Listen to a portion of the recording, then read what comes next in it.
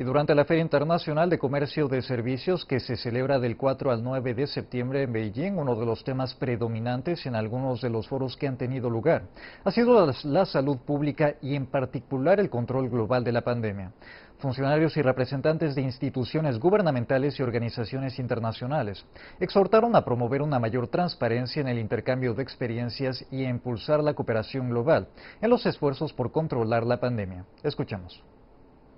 Como parte del programa de actividades de la Feria Internacional de Comercio de Servicios, se llevó a cabo un foro sobre salud pública en el que participaron representantes de la Comisión Municipal de Salud de Beijing, del Departamento Internacional de la Comisión Nacional de Salud de China, de las oficinas en China de la Organización Mundial de la Salud, del Fondo de Población de la ONU y del Programa Conjunto de las Naciones Unidas sobre VIH-Sida, así como de la Embajada de Serbia en China.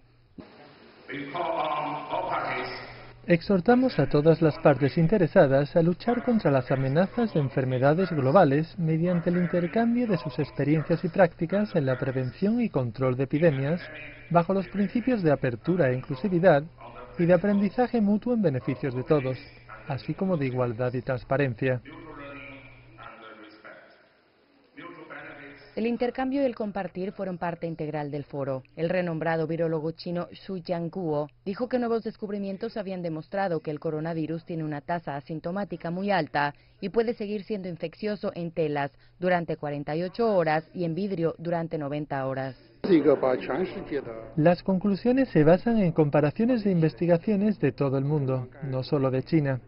En primer lugar, la tasa sintomática de la enfermedad es muy alta, quizás de 6 a 90%.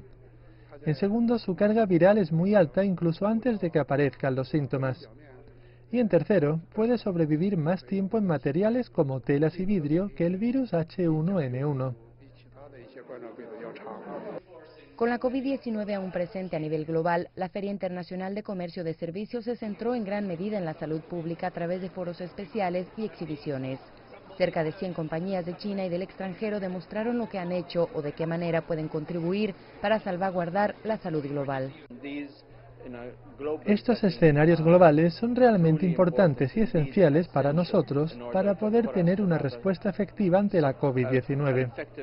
La cooperación es una palabra central en nuestra respuesta a un virus que se propaga actualmente por todo el mundo.